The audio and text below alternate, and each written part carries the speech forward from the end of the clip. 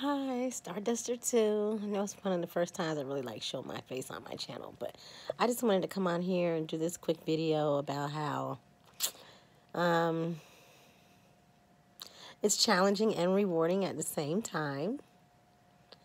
Uh, gardening and growing your own food and it's it's a lot of fun, you know, but it's a lot of hard work. It's a lot of commitment.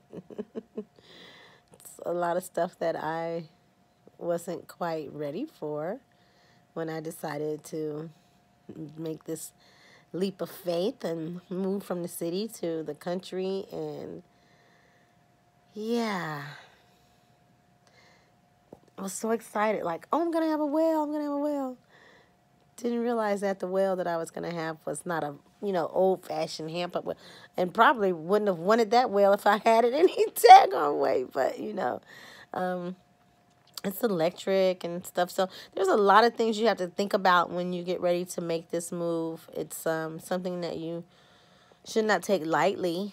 Um, but if you're like me, you know, I stepped out on faith. I just decided to you know, make a move. I was already in a blessed position, so I decided to take it to the next step. And I'm very grateful. Just understand that it's a lot of work, it's a lot of um, studying and knowledge that you have to, you know, prepare yourself for. Whether you, you know, grew up this way or not. It's homesteading is not something that's so simple, you know. Um,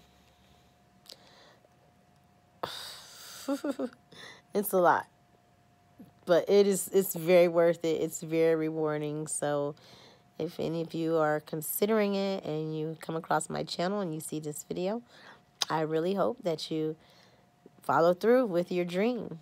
You know, make it real, make it come true for yourself and just stay diligent and it will work out for itself in the end. Trust, have faith, and grow lots of food. Oh, I gotta learn about how to wring my chicken's necks now.